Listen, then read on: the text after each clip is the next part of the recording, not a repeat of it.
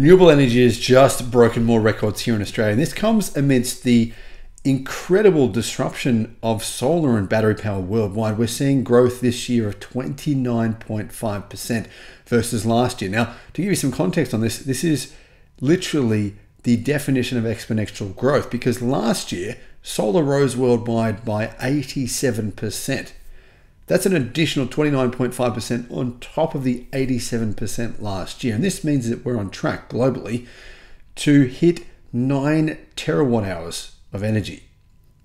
In the last five years, we have more than doubled the amount of solar worldwide. And here in Australia, well, honestly, a lot of Australians are playing a pretty big part. I am kind of privileged to be part of that really, really stoked because my solar system is generating enough electricity to power two EVs every day on average. Crazy, I know. Anyway, if you want to use my the solar company that I used, Resinc Solar, they're amazing and I highly, highly recommend them. I'll put a link in the description so if you want to check them out, you can. Renewables have hit a record 102.5% of grid demand in a sign of the future of Australia. Now, we know the um, coalition government the incumbent government who want to get in in the next election, they are promising they will scrap renewable energy in Australia, scrap all the new plans coming in, all the new big batteries, all the solar farms, wind farms that are proposed and that are on track to be built.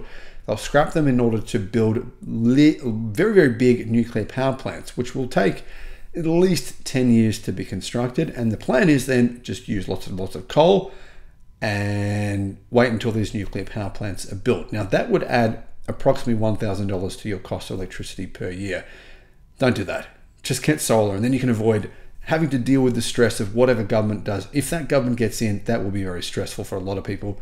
You can really avoid a lot of that by getting solar and you know creating most of your own energy yourself. If you have an electric car, then well, you know, you can be almost fully self-sufficient by you know generating your own power for your EV and for your household. The level of potential renewables here in Australia, though, right now, the combination of wind, solar, and hydro energy that was actually produced and curtailed hit a record of 102.1% of electricity demand uh, yesterday. 102.1%. That's on the entire Australian grid. Unfortunately, a lot of that is curtailed because the truth is, here in Australia, in many places, we can't yet turn off some of these power plants. So, gas power plants, coal power plants, we, uh, we haven't figured out a way to, yet to turn them off. We can reduce the capacity significantly down to about a, a, quarter of their normal capacity, a quarter of their normal use, which is great, but we can't completely turn them off.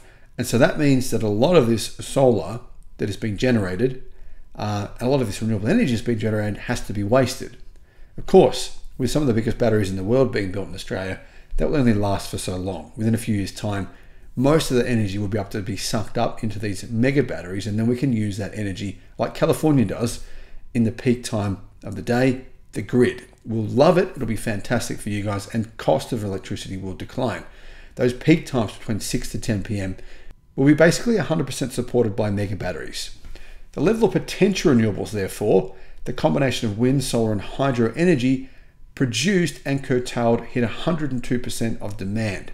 The new record was reached at 12:25 p.m. on Wednesday this week, according to GPE NEMLog says reneweconomy.com.au. They also said that this beat the previous peak of 101.5%. That was set nearly a year ago. The actual share of generation did not reach a new peak on Wednesday. That stands at 72.1% according to date from the Australian Market Energy Operator. And that's because, yeah, like I said, um, unfortunately, we can't yet shut down these, these power plants completely. Now, they will be Australia absolutely will be. By 2035, I predict that there'll be no more fossil fuels here in Australia. And if you want to know exactly why, I detailed the reasons why in a video I just did today, which is about solar growing faster than anyone imagined, even more than what Tony Seba predicted. What this means is that wholesale electricity prices fell below zero and an oversupply of electricity and the need for most coal generators to keep operating at a minimum capacity meant that yeah, a lot of this electricity was just um, destroyed essentially. So, how does this work? Well, to ensure that they are dispatched, Renew Economy says the coal generators here in Australia bid the price asked for that capacity as low as is needed. Many wind and solar farms are obliged, of course, to switch off once wholesale prices fall below zero. More storage, both in the form of batteries and longer duration technologies, will help fix that problem. There is some engineering challenges too, but they can be overcome. The market operator is currently operating on a roadmap to ensure all necessary protocols and the ability to replicate the crucial system services traditionally provided by coal and gas generators are in place. The Australian electricity manager or operator, they want to be able to be in a position where they can actually accommodate periods of 100% renewables in Australia's grid in 2025. So that's their goal. That may take them longer, it may take them till 2026, but we'll, we'll be in a position at some point over the next couple of years where we don't have to waste as much of this renewable energy because, well, a lot of it will be stored and a lot of it will be, a lot more of it will be able to be used in the grid. That will mean the faster closure of some of these coal power plants. Keep in mind, Australia has a target of 82% renewables by 2030. Now, a lot of people say that won't be achieved. That's um, too optimistic. That's wild. That's ridiculous. I firmly believe it will. And I think that South Australia and Adelaide have given us the roadmap for how that can be achieved. And, well, South Australia themselves said that they'll be 100% renewables within the next year and a half. Clearly, Australia having so much sun and quite a lot of wind as well, it's really the perfect location for a completely renewable grid. The pace of growth is highlighted by this graph, which shows that the share of potential renewables across the main grid has increased from only 30% in 2018 to more than 102%.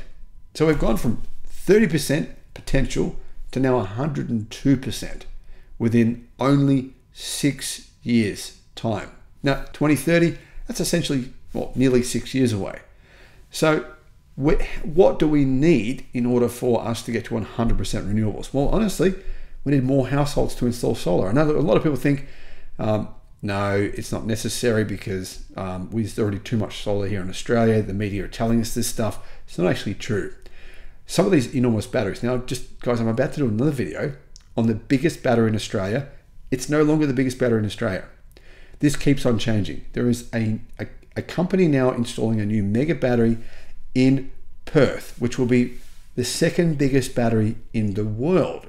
Um, these batteries are being built at incredibly fast pace. Tesla's new battery in uh, Queensland, I believe, in might be in Brisbane. That one is just about to be completed. That has 144 Tesla megapacks, and these battery, these enormous batteries are being deployed into Australia's grid at a record pace, the fastest pace we've ever seen before. So the more solar we have, the better. Eventually, you know, we're seeing a situation where you're not getting much for your solar. The feed-in tariffs, they're going down. That will stop because the feed-in tariffs will actually be useful. I mean, the feed-in of solar, all this excess solar, we'll be able to use it rather than just wasting it. So that'll go into batteries, and therefore energy companies will actually want that solar. Eventually, that won't be the case. Eventually, there'll be so much renewable energy here in Australia that honestly, you'll probably just power your own house and you won't really worry about being part of the grid. But for the next five to 10 years, that solar will actually become very, very valuable. To give you some context, rooftop solar alone has already reached a world leading 100% share of demand in South Australia. What about New South Wales? Well, I'm obviously live in New South Wales now. It has hit a new peak of 52.1%. Queensland, where two newly commissioned battery projects, the 100 megawatt, 200 megawatt hour Chinchilla battery and the 270 megawatt, 540 megawatt hour Western Downs battery, also are playing a major part in Queensland's grid.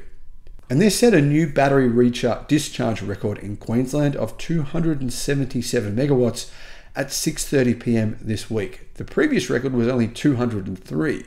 So as you can see, records in renewable energy are being destroyed all around Australia. Now, reneweconomy.com.au is probably one of the best sources worldwide for this sort of information. I highly recommend you use them. Giles Parkinson has been writing about this for many years and I've got a lot of respect for the work he does. It's so important to this transition. I believe publications like this are inspiring. They're inspiring Australia to move fast, and I highly recommend you read them and stay up to date with this information. Share this stuff with your friends.